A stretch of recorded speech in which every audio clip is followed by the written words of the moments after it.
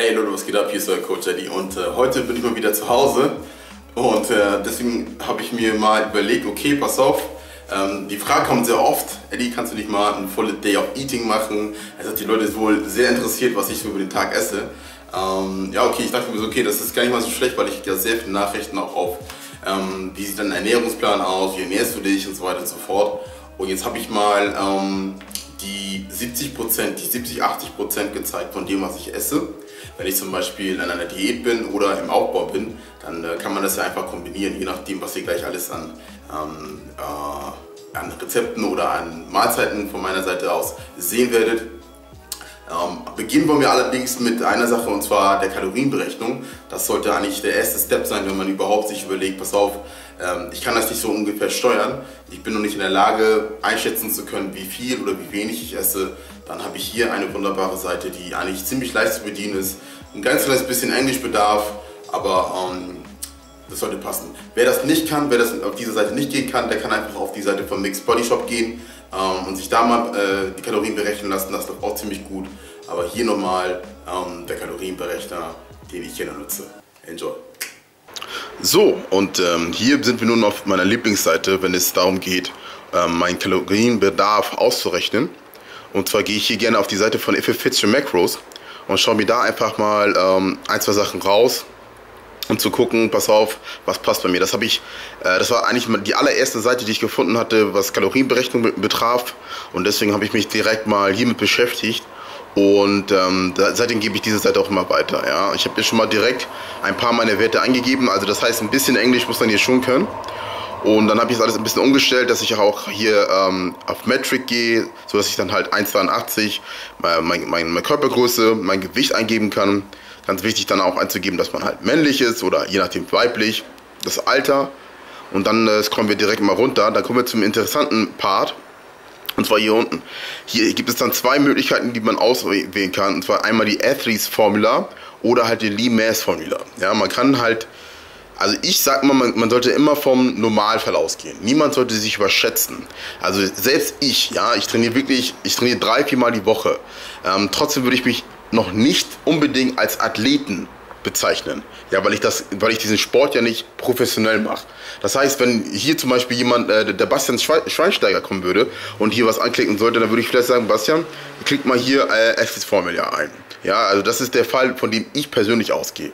Ja, natürlich kann man beide Versionen durchgehen, Access Formula oder die Lean Mass Formula. Das bedeutet, ähm, die kann man wunderbar nutzen, wenn man seinen ähm, aktuellen Körperfettanteil kennt.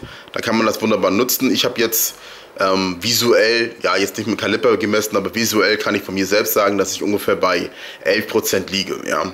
Wenn jemand von euch da draußen ist, der sich unsicher ist, der nicht weiß, wo er gerade liegt, dann kann man ähm, äh, den entweder messen lassen über den Kaliper oder halt auch das wieder äh, visuell. Man gibt bei Google Körperfettanteile ein und dann sieht man schon ungefähr nach Maß, wo man selber auch liegt. So, dann habe ich das Ganze einmal eingegeben und auch schon auf Calculate äh, gedrückt, also ausrechnen. Dann berechne ich mir einmal aus, was ich alles brauche und wo ich alles liege. Okay, das heißt, für mich, was ich auf jeden Fall täglich essen muss, ist dieser BMA. Das muss sein, das brauche ich zum Überleben. Okay, das geht nicht anders. Ähm, das ist so ähm, mein Überlebensstand. Darunter sollte ich auf gar keinen Fall essen. Ja, und das, daran halte ich mich auch. Und daran, ähm, daran klammer ich mich auch und ziehe das auch in der Diät komplett durch, dass ich dann sage, pass auf, ich gehe nicht unter diesen, unter diesem Wert bei dem Gewicht. Natürlich, wenn du später abnimmst, und irgendwann, was weiß ich, 6 Kilo oder die 5 Kilo runter hast, dann wird der BMA auch sich senken und dann kannst du dementsprechend noch etwas tiefer essen. Aber in meinem Fall äh, ist es jetzt 2200, unter den ich niemals gehen werde. Und 3000 Kalorien sind bei mir so die Haltungskalorien. Das heißt, wenn ich 3000 Kalorien esse, passiert bei mir weder noch was. Ne? Also ich, ich rechne 3646. Weder zunehmen noch abbauen, da passiert einfach gar nichts und alles ist super. Es ist ziemlich schwer, immer 3000 Kalorien zu treffen, aber naja. So, dann kann ich hier eingeben, was ich möchte. Wenn ich, wenn ich äh, generell, wenn ich Muskeln aufbauen will, berechne ich so oder so keine Kalorien. Also das ist, äh, dann habe ich schon ein Gefühl dafür. Ich kann, äh, dann habe ich ein maßloses Essen natürlich kontrolliert, dass ich schaue, dass ich dann nicht komplett nur ähm, Müll esse, sondern vielleicht 80% clean, vernünftige Sachen, ähm, ne? Und dann 20% halt äh, Big Macs, Cheeseburger und alles, worauf ich gerade lustig, lustig bin. So. Ich weiß von mir selbst auch, dass ich, ähm, wenn ich abnehmen möchte, bei 2500 Kalorien geht es bei mir erst richtig los. Äh, da merke ich das auf jeden Fall, dass radikal was passiert. Und da fange ich auch meistens immer an, dass ich mit 500 Kalorien anfange, äh, 500 Kalorien minus anfange. Und dann gehe ich einfach ähm, in 200er Schritten weiter runter, wenn ich merke, da passiert nichts mehr. Äh, in meinem Fall ist es vielleicht, alle zwei Wochen gehe ich dann mit 200 Kalorien weiter runter, bis ich dann, wie gesagt, äh, ja, nicht tiefer bin, als der BMA tatsächlich sein sollte. Ne? Wenn man dann alles eingegeben hat, dann hat man im dritten Schritt nochmal die Möglichkeit, hier einzugeben, pass auf, was für eine Diät möchte ich überhaupt machen? Möchte ich F14 Macros machen? Äh, darüber haben wir auch schon, habe ich letztens mit Ike nochmal äh, ein kleines Q&A gemacht, wie wir das finden. Dann kann man hier die Zone Diet, man kann die Bodybuilder, die 40, 40, 20, äh, ist auch eigentlich ganz geil. Ja, das ist halt so ziemlich low fat. Ähm, da gibt es noch eine Low Fat, wo, die, wo man ein bisschen mehr Kohlenhydrate hat ziemlich wenig äh, Fette hat, wer damit umgehen kann, perfekt. Dann gibt es ja nochmal eine, Fett, äh, eine ähm, Makroverteilung für Low Carb, ja, auch äh, ganz interessant. Und dann nochmal für ähm, Ketogenic, das ist das, was ich eigentlich am meisten, am häufigsten anwende, ähm, weil ich diese nutze unter der Woche und dann äh, überschwinge auch und das Wochenende dann äh, ein, einfach Ladetage habe. Ja? Also man muss das nicht machen, es ist, es ist, niemand ist dazu gezwungen, aber man kann einfach ausprobieren. Für mich zum Beispiel ist die Low Fat ähm, eher ungeeignet. Ich finde es nicht toll, weil ich einfach durch diesen Insulinhaushalt mit den, mit den Kohlenhydraten permanent Heißhunger habe, permanent Hunger äh, empfinde und permanent was essen will. Äh, wogegen bei Low Carb oder bei Ketogenic, das ist dann für mich dann ähm, durch das Fett habe ich dann einfach, ich aber so gesättigt, habe ich so die Schnauze voll von Essen, dass ich in den ersten paar Tagen wieder ich leide, aber danach geht es mir eigentlich super und dann passt es auch. Ne? So, jetzt habe ich mich zum Beispiel entschieden für Ketogenic. Jetzt mal nur als Beispiel. So, dann drücke ich Calculate. Was passiert dann? Er berechnet mir dann, pass auf, pro Tag darf ich 32 Gramm äh, Kohlenhydrate, Carbs. Proteine 194. Obwohl ja, das ist ja ganz, ganz okay bei meinem, bei meinem Gewicht. Ähm, vielleicht schraube ich das manchmal noch runter, ob ich das jetzt äh, 180 sind oder 194 dahingestellt. Fette hingegen sind extrem hoch. Ja, da haben wir 187, fast 190 Gramm. Und dann, dann auch Ballaststoffe und so weiter. Das heißt, all diese Sachen ergeben, alle Sachen zusammen, würden dann 2500 knapp 2600 Kalorien ergeben. Ja? Pro Mahlzeit sollten das dann 10 Gramm Kohlenhydrate, 64 Gramm Proteine, Fette 62 Gramm ergeben. Ne? Das heißt, wenn wir sagen, wir haben drei Mahlzeiten am Tag, dann sollte die äh, Mahlzeitverteilung so ungefähr aussehen. Ich kann auch sagen, ich will nur zwei oder eine Mahlzeit essen. Naja, bei mir bleibt es in der Diät immer bei zwei bis drei Mahlzeiten und dann äh, passt es eigentlich auch schon so. Ne? Also das ist halt so die Art und Weise, wie ich meine Kalorien berechne. Alles klar? Peace. Oh, ich bin jetzt nun bei Aldi unterwegs und ich stehe gerade voll in der falschen Rieke. Habe hier Wein und sowas hinter mir. Ähm, aber hier habe ich mal ein paar Sachen abgefilmt, die ich jetzt so angekauft habe. Moment. So, so sieht das bislang aus. Ähm, ja, ich fange an mit den Äpfeln. Äpfel wunderbar, ja, senken Cholesterinspiegel, reich an Entgiftungs-, an Antioxidantien, entgiftenden Leber. Die würde ich auf jeden Fall mitnehmen. Ich nehme mal von Pink Lady die mit. Dann haben wir die Weintrauben. Ja, ich liebe Weintrauben. Weintrauben sind ein super natürliches Diuretikum, das heißt, sie ziehen dir Wasser, überschüssiges Wasser. Ähm, dann haben wir hier Avocados. Ja? Äh, fast 29 Mineralien, Vitalstoffe, Vitamine, alles drin halten in so einer kleinen Avocado. Würde ich auf jeden Fall mitnehmen. Und Mango, ja, Mango ist auch was Tolles, ist auch was Gutes. Ja, ich kann Angst vor Obst haben. Ich habe die jetzt eigentlich nur mitgenommen, weil meine Mami welche haben wollte. Ähm, aber ansonsten, es gibt immer wieder Diskussionen über Fruchtzucker, vollkommen unbegründet. Ähm, morgens Fruchtzucker zu sich zu führen, ähm, ist vollkommen okay. Ähm, ich würde, ich, also ich persönlich würde es empfehlen, halt auf morgen zu legen. So.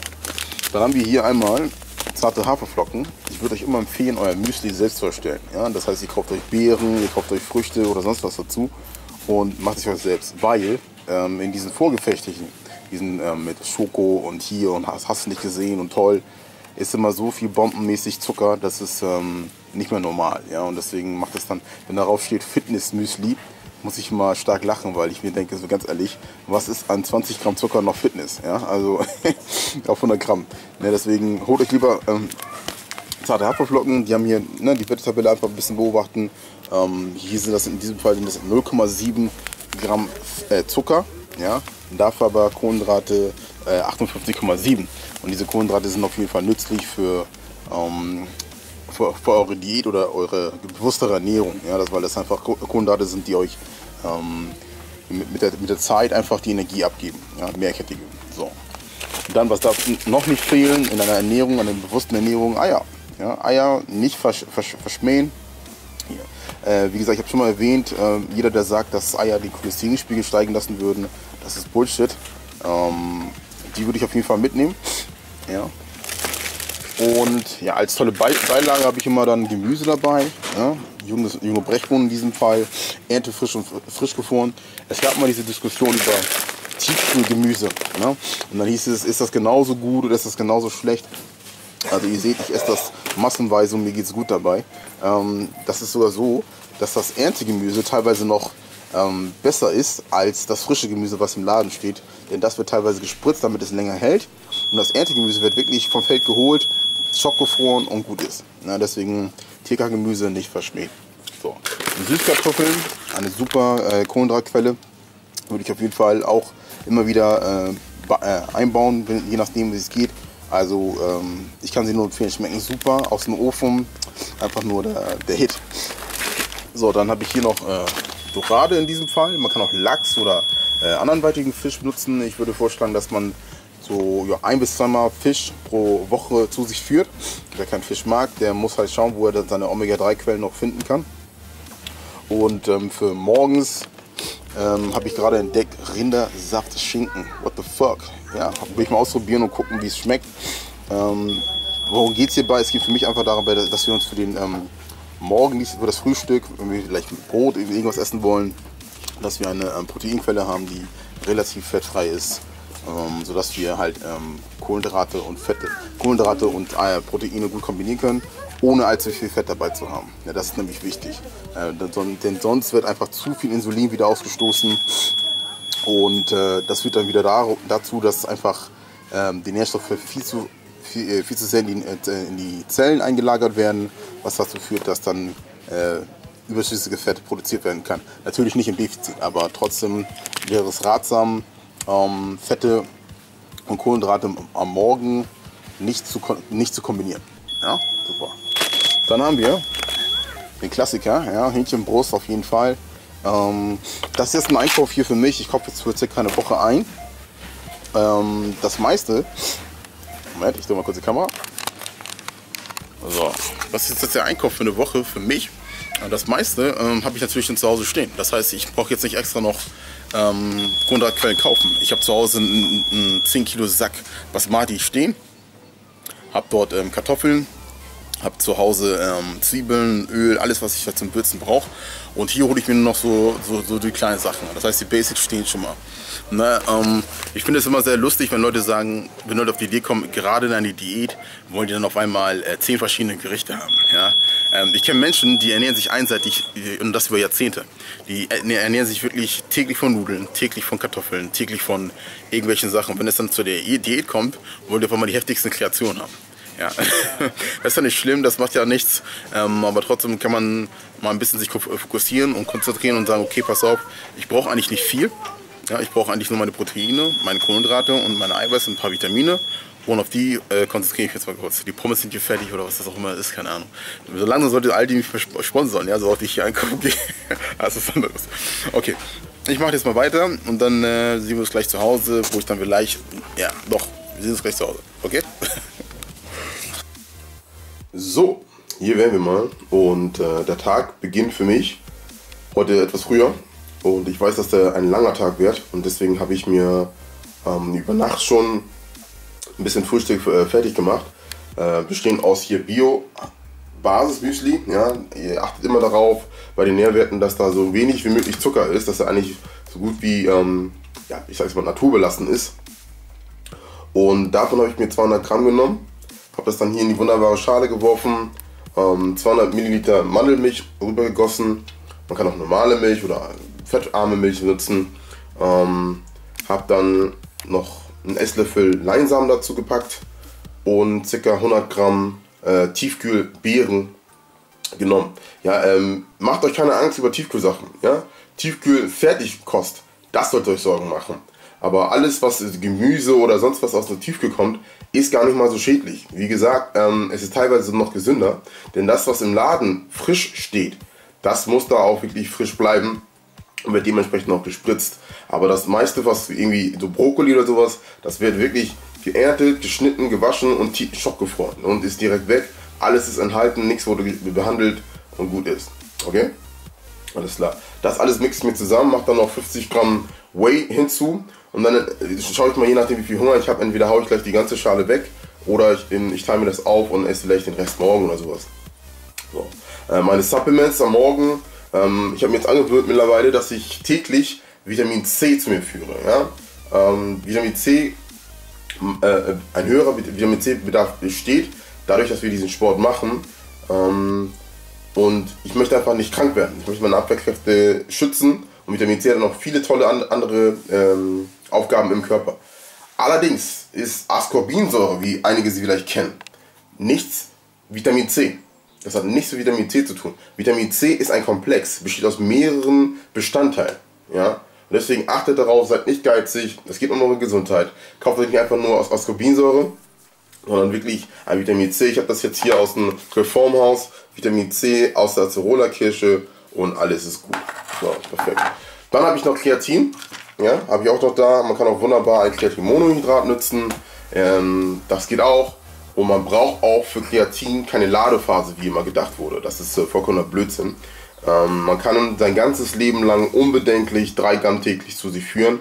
Das mache ich auch und äh, mir geht es wunderbar. Ich verbessere nicht. Ja, Kreatin verbessert nicht. Wenn du natürlich ein Spezialist bist und ähm, die aus was ich äh, acht Pillen davon reinhaust, dann musst du dich verwundern, dass du irgendwann so einen Wasserkopf bekommst. Ähm, denn das zieht schon Wasser, es zieht aber Wasser in die Muskulatur. Und wenn natürlich zu viel davon besteht, hast du ein kleines Problem. So. Dann geht es für mich weiter mit ähm, Arginin. Das haue ich mir meistens so kurz vor dem Training nochmal rein, ich halte mit auf die Arbeit.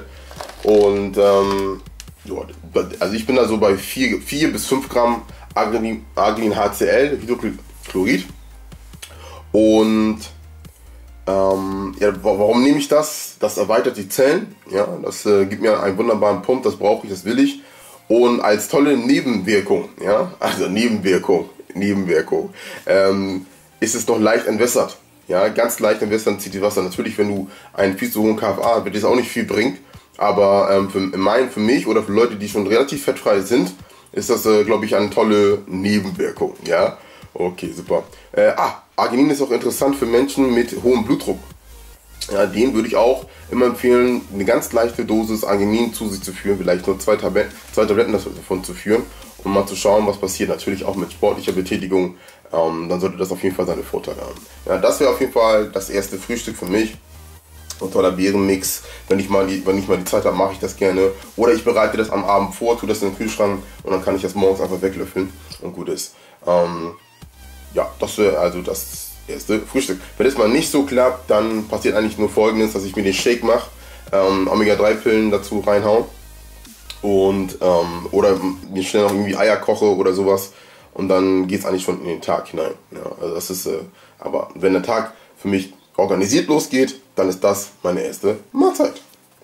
So Leute, da sind wir nun bei der Mahlzeit Nummer 2 und dafür habe ich mir ausgesucht, heute nach dem Training mir nochmal ganz schnell äh, Hähnchenbrot anzubraten. Gewürzt mit äh, etwas Salz, mit, äh, süße Paprika. Ja, damit es auch eine schöne Farbe hat, das Ganze. Fleisch schön durchgaren lassen. Habe ich mit wenig Fett angebraten. Das heißt, ich habe circa, eigentlich nur zum Marinieren des Fleisches, äh, circa ein Esslöffel äh, Fett benutzt. Warum mache ich das? Ich ernähre mich ein bisschen äh, ganz leicht low fat. Ja, das heißt, wir versuchen die Fette relativ tief zu halten, und ja, so sollte es eigentlich äh, etwas passen. Rate das gleich hier wunderbar durch. Das sieht schon auf jeden Fall sehr, sehr yummy aus. Und weil ich ein, ein Gourmet bin, ein Geschmack liebe, ich kann das nicht einfach trocken essen. Ich habe jetzt nochmal ein bisschen Zone drauf. Ein bisschen, perfekt. So, und das ist wirklich ein bisschen kochen. Und dann kommt da noch dazu Brokkoli. Ja, Brokkoli, mega wichtig, mega gesund, sättigend, reich an Ballaststoffen. Und den habe ich hier in der Mikrowelle kurz aufgewärmt. gebe den einfach mal dazu. Ja. Genau, lasst es alles mal ein bisschen gemeinsam miteinander harmonieren und damit die äh, Zeit haben zu überlegen, wie sie mir was Gutes tun können. Ja. Und ähm, hier das Wasser lasse ich noch kurz zerköcheln, wegkochen und dann habe ich meine Mahlzeit zusammen. Okay? Super, bis gleich. Oh, die Restflüssigkeit ist nun auch verdampft. Dazu mache ich mir jetzt noch ein bisschen äh, Basmati-Reis und dann werde ich gleich mal einen tollen Tag haben, ja? Yeah! Wie versprochen, mein geliebter Reis, ja. Ähm, für alle, die vielleicht nicht wissen, wie man Reis kocht, äh, der Reisspezialist, äh, Halbasiate Eddie Fox, wird jetzt mal erklären oder ganz kurz zeigen, wie er seinen Reis am liebsten kocht. Ich bin zum Beispiel jemand, ich mag diesen Beutelreis nicht und ich habe auch keinen Bock mir den zu holen und ich finde es auch ähm, sehr ökonomisch, wenn man sich lieber so einen riesen Sack äh, Reis kauft, dann hole ich mir meinen Inder oder meinen Chinesen, kostet 20 Euro, es sind 10 Kilo drin, Basmati und den koche ich mir dann, weil ich ziemlich, viel Reis esse. So, das Ganze geht dann so, wir lassen das Wasser aufkochen, habe dann ungefähr ja, ein ganz kleines bisschen das Wasser gesalzen und wir haben immer ungefähr das Doppelte an Wasser, an wie viel Reis wir haben. Zum Beispiel diese Schale jetzt. Ne? Die habe ich jetzt voll, zweimal voll gemacht mit Wasser und da werfe ich jetzt die eine Schale Reis hin, mit, mit hinein. So, dann sehe ich schon, okay, das ist vielleicht ein bisschen zu viel Wasser. Rühren wir mal kurz um. Ja, vielleicht muss ich ein kleines bisschen abschütten. Mal so. Perfekt. Ungefähr so viel, dass ungefähr eine Fingerkuppe hinein kann. Ja, bei der Fingerkuppe, dann merkt ihr, okay, ich berühre den Reis perfekt. Und dann ist das auch eigentlich schon ganz richtig. So. So. Die Hitze ist noch weit oben, das Wasser kocht. Und ich mache das immer noch gerne so, dass ich noch ein bisschen Zwiebeln reinwerfe. Ja. Weil das gibt nochmal einen tollen Eingeschmack an den Reis und dann ist der Reis nicht so derbe trocken. So, dann drehen wir die Hitze runter, vielleicht auf die ja, schwächste oder zweitschwächste Hitze. Rühren das Ganze einmal um und ballern dann den Deckel oben drauf. Perfekt. So, das lassen wir jetzt einfach mal in Ruhe chillen, bis es dann fertig ist und dann können wir es wunderbar genießen mit unserem Kohldicho. Alles klar, perfekt. So, da wären wir bei meiner dritten Mahlzeit für heute. Und äh, das könnte ich auf jeden Fall vorschlagen, dass man auch vielleicht ähm, gegen Abend dann äh, vermehrt auf, wenn man das Kohlenhydraten essen möchte, auf Gemüse setzt, in Kombination mit magerem Fleisch. Ich habe hier zum Beispiel ähm, Grünkohl und ähm, äh, Prinzessbohnen. Das Ganze mit äh, ja, ein, bisschen, ein bisschen Rindfleisch hier am Start. Ein bisschen. ist voll im Berg, aber ein bisschen, okay. und ähm, erst das Fleisch angebraten und dann ganz kurz nochmal das Gemüse drin angeschwenkt, abgelöscht mit äh, Zitronensaft. Und lass mir das jetzt mal wunderbar schmecken. Bis später. Okay Leute, ich hoffe, ich konnte euch mit äh, diesen kleinen äh, Rezepten und diesen äh, Ernährungsempfehlungen ein bisschen weiterhelfen. Ähm, es ist eigentlich nicht viel, ehrlich, ohne Spaß. Ähm, ich, man sollte anfangen, das Ganze in, oder man sollte das Ganze irgendwo lieben und irgendwie wertschätzen. Ja? Ähm, es geht immer darum, seinen eigenen Körper zu respektieren und kennenzulernen. Okay, das heißt, das, was ich jetzt euch vorgezeigt habe, was ich gemacht habe, das kann für viele funktionieren oder für Einzelne, aber für Einzelne da draußen vielleicht aber auch gar nicht. Ja, das heißt, man muss selber irgendwo finden, was passt zu mir, ähm, was muss ich rausfinden, was sollte ich, sollte ich, wie sollte ich mich ernähren, damit ich meine Ziele möglichst erreiche. Okay? Egal ob nur für Aufbau oder Abbau, man kann ja die, dieselben Rezepte, die ich gerade benutzt habe, einfach nutzen, ähm, die Menge erhöhen und einfach dann für seinen Kalorienbedarf einfach irgendwo, äh, irgendwo decken. Ja, dann sollte das auch eigentlich ganz gut stimmen und passen. Okay, alles klar. Ich hoffe, ich konnte euch ein bisschen weiterhelfen. Wenn da Fragen sind, ballert die in die Kommentare rein.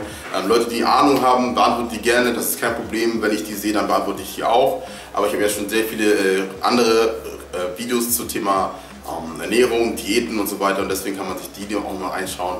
Ähm, ich werde noch ein Video machen und da mal äh, genauer eingehen, wie ich so eine Masse, Massephase oder ein bisschen, ich, ich sag ungern Massephase, aber so einen Aufbau, so einen ähm, gut kalkulierten Aufbau, wenn ich durchgehe. Das werde ich euch nochmal in aller Ruhe zeigen. Ja, das Video war jetzt ein bisschen länger und äh, wir wollen mal das Ende auch mal kurz halten und daher, ich hoffe, es hat euch gefallen und bis zum nächsten Mal, euer Coach Eddie. Enjoy. Peace out.